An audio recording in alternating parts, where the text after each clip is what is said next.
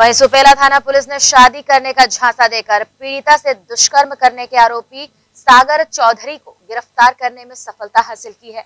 शादी करने की बात करने पर आरोपी द्वारा लगातार पीड़िता को जान से मारने की धमकी दी जा रही बलात्कार के एक आरोपी सागर चौधरी को गिरफ़्तार करने में सुपेला थाना पुलिस को सफलता मिली है। आरोपी सागर चौधरी ने पीड़ित युवती से पहले दोस्ती कर अपने जाल में फंसाया, फिर शादी करने का झांसा देकर लंबे वक्त तक बलात्कार करता रहा। पीड़िता द्वारा आरोपी से शादी करने के लिए कहे जाने पर आरोपी उसे जान से मारने की धमकी देने लगा, जिसके बाद पीड़िता द्वारा 4 जनवरी को सुपेला थाना में उपस्थित होकर आरोपी के खिलाफ रिपोर्ट दर्ज कराई गई। आरोपी की गिरफ्तारी को लेकर सुपेला थाना प्रभारी दुर्गेश शर्मा द्वारा टीम गठित की गई, जिसके बाद आरोपी की गिरफ्तारी की जा सकी। पूरे मामले की जानकारी सुपेला थाना प्रभारी दुर्गेश शर्मा ने दी। पीड़िता थाना उपस्थित आकर पीड़िता ने रिपोर्ट दर्ज कराया, जो कि सुपेला क्षेत्र की रहने वाली है, कि एक व्यक्ति है सागर चौधरी नाम का।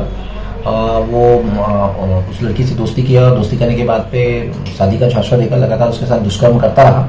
और जब लड़की ने शादी के लिए उससे बोला तो लड़की ने जो सागर चौधरी ने शादी करने से इनकार किया।